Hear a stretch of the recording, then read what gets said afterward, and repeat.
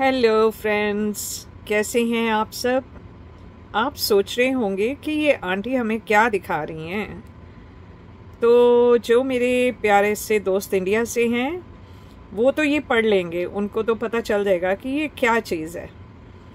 ये बाकी जो हमारे इंडिया से नहीं है और जिनको हिंदी पढ़ना नहीं आता, उनको मैं ये बताऊँ कि एक बड़ी मज़ेदार गज़ल है। आजकल कुछ लोगों ने ना एक बिज़नेस सा बना लिया है कि जब तक उनकी खिदमत करते रहो, जब तक उनकी वाह वाही करते रहो, तब तक वो आपके दोस्त हैं। और ज़रा सा आपने उनको तवज्जो नहीं दी तो वो बस अपना असली रंग आपको दिखाना शुरू कर देते हैं। जब से वाईटी पे आई हूँ बहुत ड्रामे देखने को मिले, बहुत ड्रामे देखने को मिले। आपको भी मिलते होंगे ऐसे वैसे ड्रामे बहुत सारे। तो जी, लोगों ने बहुत कोशिश की। मेरा कल का बर्थडे खराब हो जाए। और काफ़ी हद तक वो कामयाब भी रहे। आज भी यही हुआ। और उन्होंने अपने मैसेजेस में बहुत सीना ठोक कर ये जवाब दिया कि उनकी बदुआएँ बहुत लगती हैं। तो चलो, आजमाइशों से हम भी नहीं डरते। लगती हैं बदुआएँ तो कितनी देर लगेंगी? जहाँ हमारे रब ने कैंसर ठीक कर दिए लूपस ठीक कर दिया एपिलेप्सी ठीक कर दी, ज़रा ज़रा सी बदुआएँ किसी का कुछ नहीं बिगाड़ सकती। और उल्टा पलट के उन्हीं लोगों पे जाती हैं। तो ये जो लोग इतने घमंडी, इतने अकड़ू से अपने आप को खुद को रब समझने लगते हैं कि हमारे से बढ़ के कोई है ही नहीं। हम ही को तवज्जो दो, हम ही को प्यार दो और किसी से बात मत करो। और इतनी जेलसी इतनी जेलसी कि तुमने किसी और से बात कैसे की? तो भाई, मैं किसी की खरीदी हुई तो हूँ नहीं। किसी की मैं कोई बांधी तो हूँ नहीं कि मैं उन्हीं के इशारों पे चलूँगी। तो मेरे को आज पढ़ते पढ़ते घर आई हूँ जब सारा दिन हॉस्पिटल में आज भी बीता। सुबह नौ बजे से ले लेके शाम के साढ़े छः बजे तक हॉस्पिटल में बेटे को ग्लूकोस वगैरह लगा और उसको काफ़ी और टेस्ट वगैरह हुए। उसकी तबीयत बहुत कल भी ख़राब रही, परसों भी ख़राब रही, आज भी ख़राब रही। मतलब जिसने बदुआएँ भेजनी थी, उसने अच्छी तरीके से भेज के किया। इसका बर्थडे ना मने। लेकिन मेरा रब वो सब कुछ ठीक करने वाला है। अब वो खुद बच के रहें कि उनके ऊपर क्या क्या हो सकता है। और यही चीज़ इस गज़ल में भी कही गई है। मैं, अमूमन मेरे को जब कोई ऐसे अगर तंग करने की कोशिश करता है ना तो मैं उनको खास जवाब वब कुछ नहीं देती हूँ, बस किनारा कर लेती हूँ। और वही मैंने अब दोबारा से किया है। एक कुछ महीने पहले हुआ था, एक अभी हुआ। मैंने वो किनारा कर लिया। तो जी, जब किनारा कर लेते हो और आप जवाब नहीं देते हो तो फिर आपका रब जो है ना, जिसको भी आप मानते हो, वो आपके लिए खड़ा होता है और इंसाफ वो ही करवाता है। तो जी, यहाँ इस गज़ल के जो अल्फाज हैं, मैं आपके साथ शेयर करना चाहती हूँ इसी मौजू पे कि देखें, यहाँ लिखा है, और ये उस बंदे के लिए है। ये मेरे एक्चुअली फेसबुक पे पोस्ट थी मेरी। और सामने मेरे को नज़र आ गई तो मैंने कहा, बहुत अच्छे मौके पे मिली है गज़ल। तो क्यों ना इसको शेयर किया जाए? तो इस गज़ल में उबैद सिद्दीकी साहब जिन्होंने ये गज़ल लिखी है, वो फरमाते हैं, खिदमत पर मामूर नहीं है, सुनते हो? अगर किसी को मामूर का मीनिंग ना पता हो तो मैं बताती हूँ। मामूर का मीनिंग है कि मुझे इस जॉब पे नहीं रखा गया, मुझे अपॉइंट नहीं किया गया कि मैं वहाँ बैठ के आप लोगों की खिदमत करूँ। तो जी, खिदमत पर मामूर नहीं है, सुनते हो? इस दर्जा मजबूर नहीं है, सुनते हो? भाई, अभी इतनी मजबूरी नहीं आई कि हमें लोगों की खिदमत करके जीना पड़े। खिदमत पर मामूर नहीं है, सुनते हो? इस दर्जा मजबूर नहीं है, सुनते हो? हमको अपनी शर्तों पर ही जीना है। हम लोगों की शर्तों पर नहीं जीते। ज़िंदगी हमारी है, शर्तें भी हमारी होंगी। हमारी शर्तें नहीं मंजूर तो रवाना होइए यहाँ से।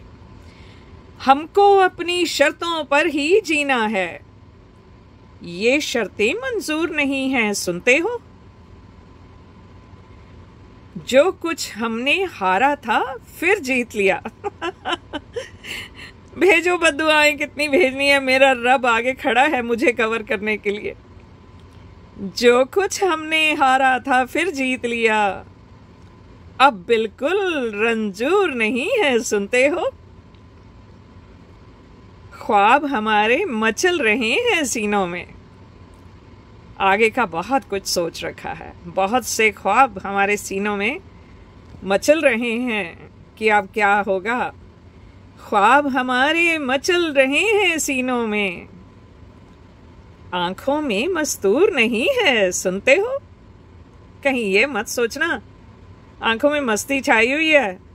नहीं, ये ख्वाब है हमारे, ये मस्ती नहीं छाई हुई। बात नहीं करते हैं हम कम जरफों से। बात नहीं करते हैं हम कम जरफों से नशा है? किस चीज़ का नशा है?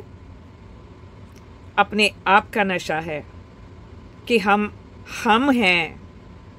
आप जो हमें बनाना चाहते हम वो नहीं हैं।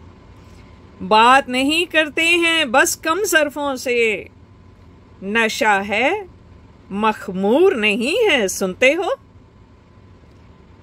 तो जी, ये मेरी ओर से अगर उनको इन अल्फाजों की मीनिंग नहीं पता थे तो मामूर का मतलब है, आपको किसी जगह तैनात कर दिया जाए, आपको अपॉइंट कर दिया जाए। तो जी, आपकी खिदमत के लिए हमें तैनात नहीं किया गया। और रंजूर नहीं है मतलब दुखी नहीं है, हमें किस चीज़ का गम नहीं है। और मस्तूर का मतलब है, पर्दा किए हुए या छुपा हुआ।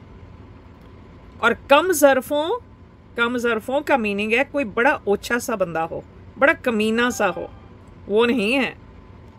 और मखमूर जो आखिरी लाइन में आया, उसका मतलब है मदहोश होना किसी में, नशे में चूर होना। तो जी हाँ नशा तो है, अपना नशा है, अपनी मेहनत का नशा है, अपने रब का नशा है कि हमारा रब हमारे साथ है। लेकिन मखमूर नहीं है न, उन नशों में चूर नहीं है जिनमें आप लोग चूर रहते हो। हम उन नशों में चूर नहीं हैं। और बात नहीं करते हैं बस कम जरफों से, कमीनेपन से हम लोग बात नहीं करते। और अपने रब के एहसानों के तले, उसके नशे में हम मस्त हैं, लेकिन उस नशे में हम मदहोश नहीं है, उस नशे में चूर नहीं है जिसमें आप लोग रहते हो। तो जी, मेरा ये जवाब, जिसने समझना है वो समझ जाएगा। बाकी है, बेशक उम्र बढ़ती जाए, बेशक कुछ भी होता जाए, लेकिन ना मुझे कोई यहाँ पे रोक सका है और ना कोई रोक सकेगा। जो आएगा, यहाँ रायता फैलाने उसको एक किनारे करूँगी और मैं आगे बढ़ती जाऊँगी और बैठ के देखते रहो आप। समझने वाले समझ गए जो ना समझे वो अनाड़ी है। एक दिन बर्थडे नहीं हुआ तो क्या हुआ? रोज़ाना बर्थडे है। खुशियाँ एक दिन की नहीं होती, खुशियाँ रोज़ाना होती हैं। उम्र भर की होती हैं। तुम्हारी गंदी सोच ने अगर मैसेज पे मैसेज भेज भेज के, भेज भेज के अगर एक दिन मेरा या दो दिन मेरे बर्बाद किए तो तुम मुझे बर्बाद नहीं कर सकते। आज तक किसी की हिम्मत नहीं हुई। मेरी कहानी तो सुनी ही है ना, पढ़ी भी है।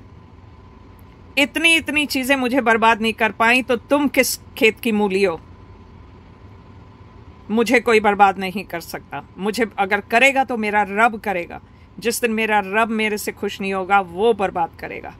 लेकिन मैं अपने रब की नज़रों में ऐसा कोई काम करती नहीं हूँ, जिससे मेरा रब मुझसे खफा हो। और तुम लोग क्या करते हो? सिर्फ़ दुनिया वालों की चमचागिरी। करो बेटा, जितना मर्ज़ी करो। आखिर में जब ठोकर खाओगे ना, उस वक्त याद करोगे। जैसे बाकियों ने याद किया ना, वैसे तुम भी करोगे। और ज़रूर करना उस वक्त याद। ख़ास करके इस गज़ल को ज़रा कॉपी पेस्ट करके अपने पास रख लेना। ओके? और मेरी दुआ रहेगी कि तुम्हें अपने किए हुए पर जल्दी पछतावा हो कि तुमने क्या किया। अल्लाह तुम्हारा निगेबान हो। अल्लाह हाफिज़।